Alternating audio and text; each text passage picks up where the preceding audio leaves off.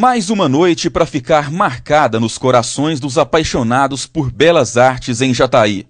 O Museu de Artes Contemporânea recebeu a exposição denominada Dentro da Mata, trazida pelo renomado artista plástico Miguel Penha.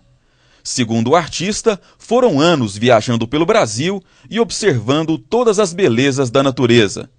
Como a mata é o tema central desta exposição, todas as telas trabalham muito bem este ambiente dando a quem visita a mostra uma incrível sensação de realidade.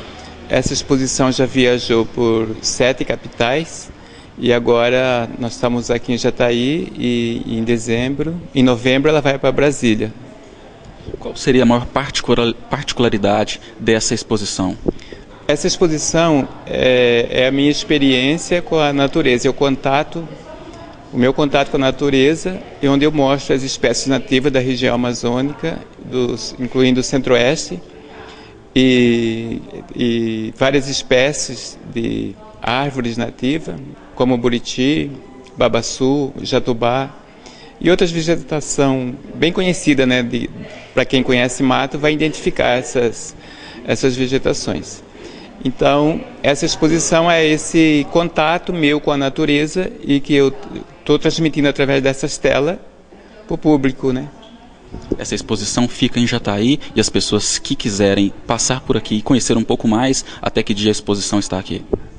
Até o dia 5 do 10 de outubro.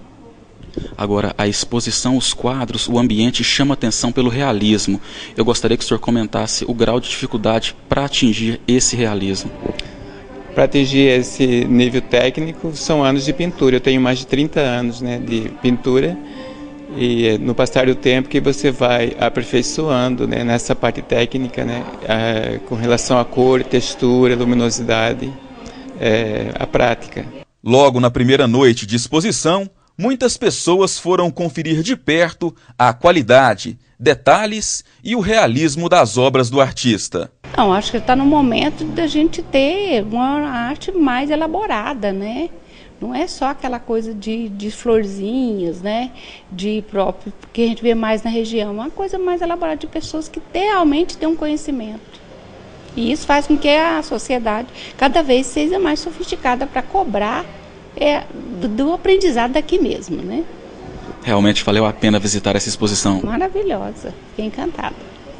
É aí que o, o autor tenha muito sucesso, né? Além de mostrar a realidade e a diversidade das obras expostas, o realismo da exposição nos remete quase que instantaneamente ao ambiente de mata. A diretora do museu, Clara Lima, comenta sobre essa nova mostra. E é um trabalho riquíssimo pela qualidade, pela técnica que ele, que ele faz. Então, é, eles, é, o trabalho dele só vem enriquecer né, é, essa exposição no Museu de Arte Contemporânea. Então, todos estão convidados, o museu é aberto das, das 9 às 17 horas, né, de terça a sábado. É, a entrada é gratuita, então é, essa exposição vai estar aqui no museu até o dia 6 de outubro. Então é só vir no museu e, e ter o prazer né, de entrar na mata.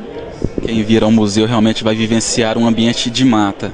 Sim, é, vai ter todo o, o essa, essa, essa vivência, né?